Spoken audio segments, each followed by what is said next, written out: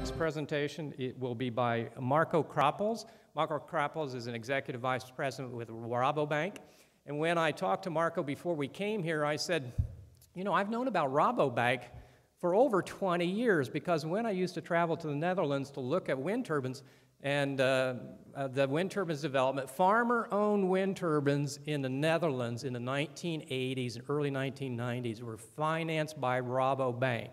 Rabobank has been a leader in financing consumer owned, farmer owned, homeowner owned renewable energy in the Netherlands for over 20 years. Marco Krapels.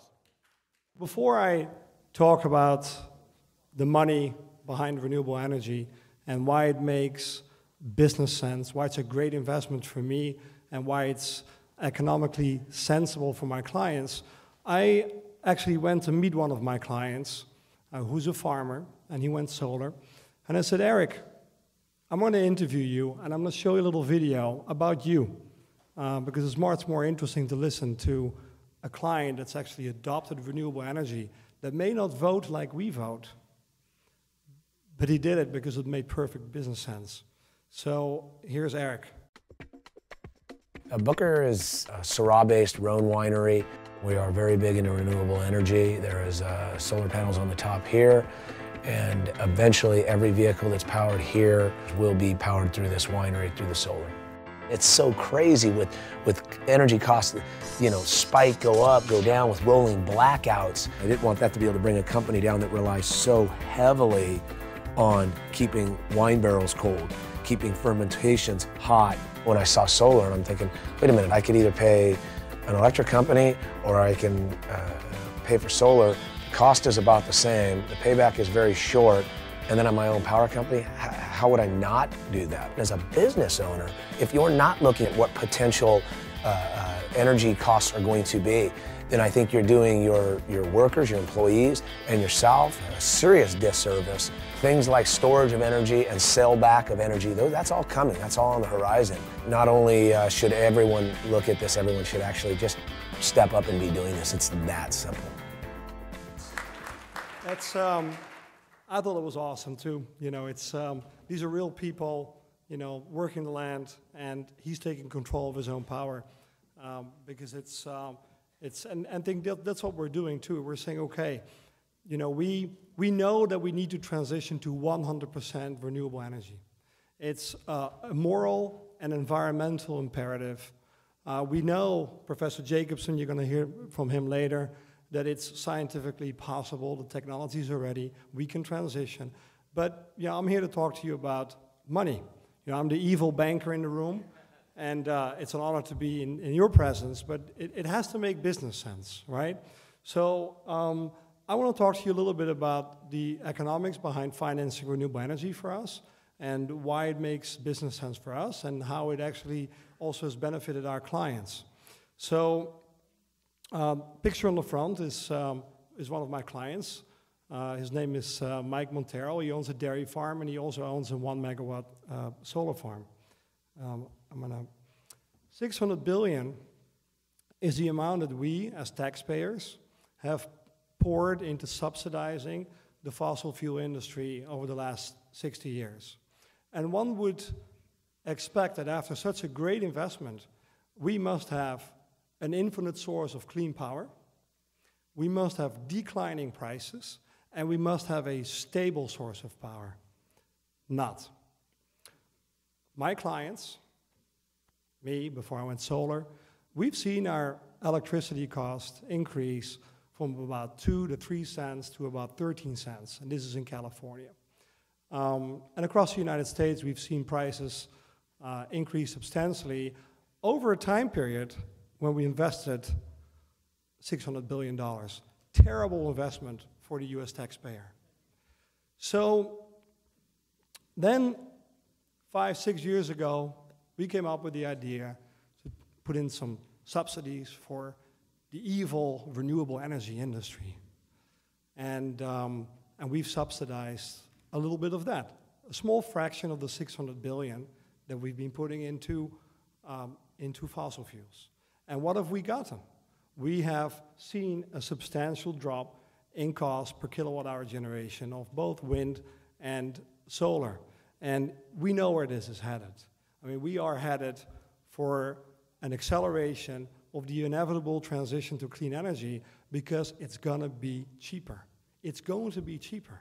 And um, we need to just keep our politicians in check to make sure that when it comes time to permanently extend the PTC, when it comes time to phase out the, um, uh, the ITC, but not immediately, but over a longer term period, that we have the right politicians in there that understand that we need a few more years.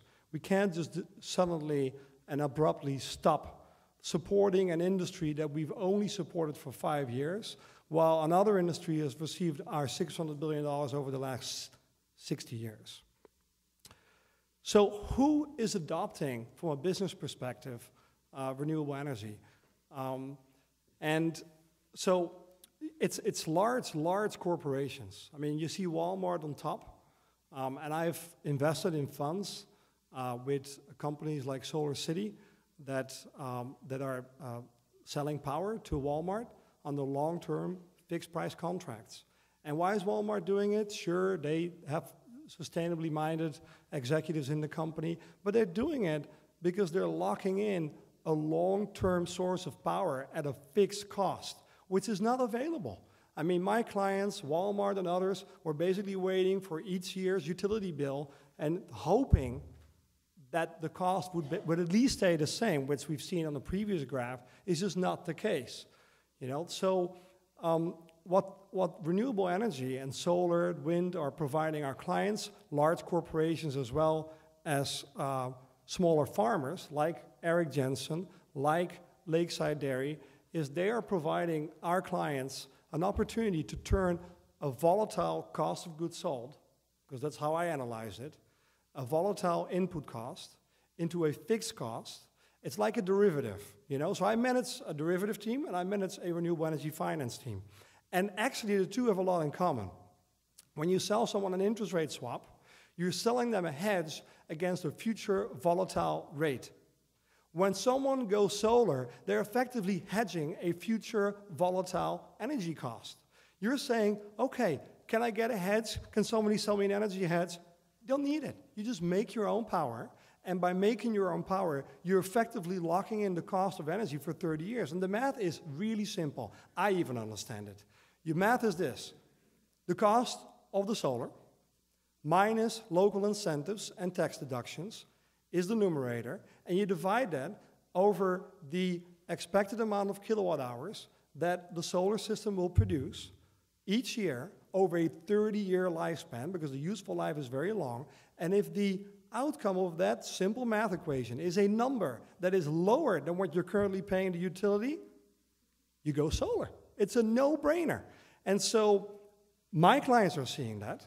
And these guys, you know, they're farmers. They wear overalls and they drive tractors and they have trucks and they own guns. and they're going solar.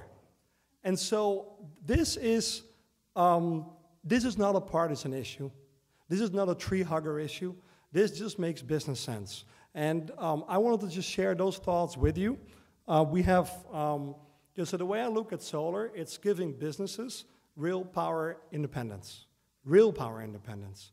Not, oh, let's frack the hell out of Pennsylvania and let's take the gas and let's take it to a power plant and, and let's turn that into electricity, which at the end of the day will not turn into a lower utility rate for the ratepayer. We've had cheap coal for 20 years. That didn't turn my bill into a lower bill, didn't turn my dairy client's bill into a lower power bill. So at the end of the day, the way we fix that volatile cost of power is just by owning it. You just own your own power, make your own power at a fixed cost. And so I see this as a, as a trend. Uh, it's continuing, and um, it's very encouraging to see that, particularly in my client demographic. Now, for the bank, it's been a great investment. Uh, since we've fi started financing solar in the US um, over the last five years, uh, and we have billions of dollars out right now, our default rate is zero. Zero. No defaults. Billions of dollars, no default. And the returns are high. Why are the returns high?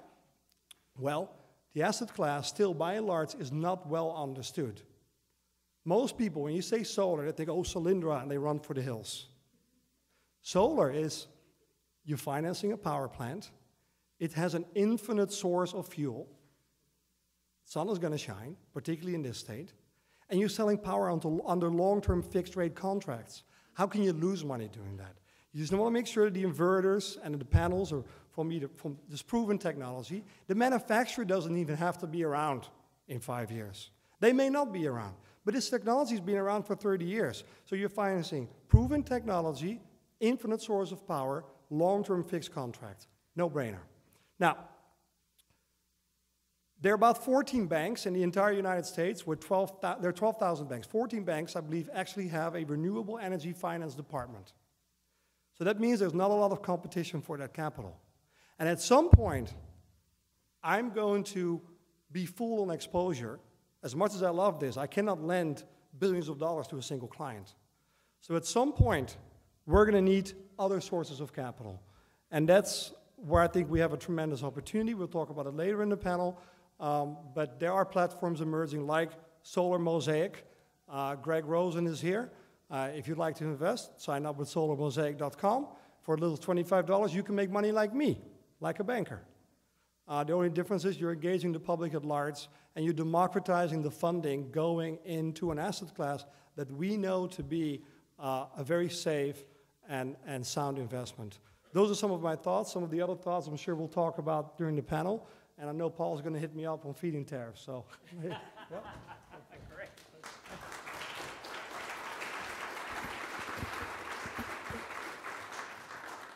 Well, thank you, Marco. That was a, a fantastic presentation. And just to add that Schleswig-Holstein Landesbank, so that's a, a bank like, like Rabobank, but only lends in Schleswig-Holstein in northern Germany, a, a state, a Land in uh, northern Germany. In 20 years, they've had zero defaults in renewable energy investments, yet they did lose quite a bit in real estate.